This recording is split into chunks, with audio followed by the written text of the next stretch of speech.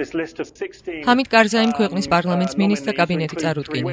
სიაში 17 ახალი კანდიდატურაა. ცოტა ხნით ადრე დეპუტატებმა კარზაის მიერ შეთავაზებული 24 კანდიდატურიდან უნდობლობა სწორედ 17 მათგანს გამოუცხადეს. მინისტრების თანამდებობებზე შეთავაზებულ ახალ კანდიდატურებს რამდენიმე დღის განმავლობაში განიხილავენ. ავღანეთის პრეზიდენტი იმედოვნებს, რომ დეპუტატები მის არჩევანს მიიღებენ.